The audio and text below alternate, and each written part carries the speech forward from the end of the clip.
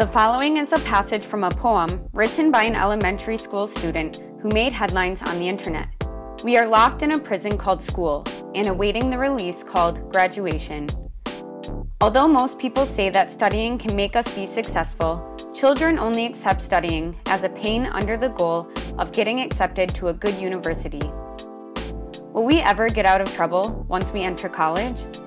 He must soon enter the competition for employment and endure the pain of building standards and pass through the big gate of promotion to succeed. He would have to repeat the entire cycle again. People put up with all this and shout inside. There must be happiness at the end of this road. But after pain, there is no sweet fruit. There is only another pain. So while people think they are in pain and it is inevitable, unfortunately the truth is we choose pain.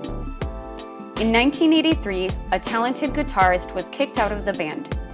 There were no warnings, debates, or farewell ceremonies. All he was given was a bus ticket to his hometown. The guitarist was frustrated at first, but soon decided to break away from self pity and create a new band. He spent most of his time working on his work, recruiting talented performers, and finally signing a contract for the album in two years. A surprising thing happened. His first album sold over 500,000 copies. The guitarist's name is Dave Mustaine.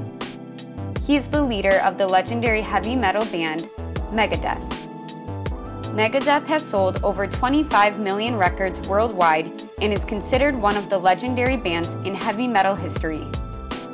But Mustaine was still suffering from great success because it was Metallica who drove him out.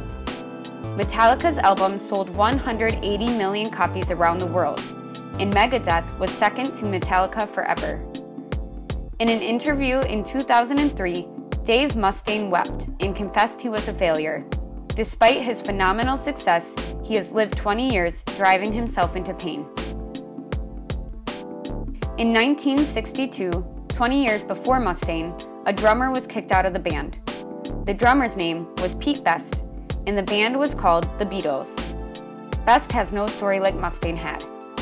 He became an ordinary civil servant, let alone a musician. However, Best said he was happy with his later in life. Since he was kicked out of the Beatles, he could meet his wife and have children. Even with the same experience and great success, if you consider it to be a pain, it will remain a pain. You can read the truth of the pain from two people Pain is not compulsory, it is something we can choose from. It is foolish to pretend to be in pain for an insoluble outcome.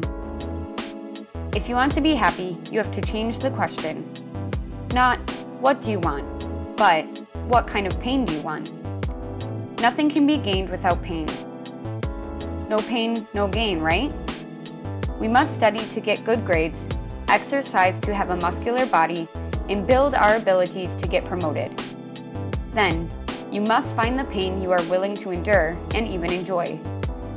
The important thing here is that the same thing is not so much pain, but joy when you feel you've chosen it. That is, autonomy turns pain into happiness. Happiness is not the result of success, but the way to success itself. Although there is a humiliating pain on the road, we must choose which path of humiliation to take. Never forget this word there is no end to hardship. Hardship should be a pleasure. What kind of pain would you choose?